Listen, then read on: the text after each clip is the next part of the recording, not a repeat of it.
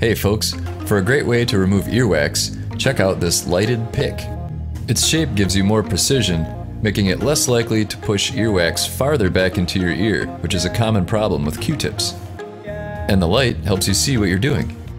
These picks make a great addition to your medicine cabinet, so check out the link below if you'd like to get one for yourself.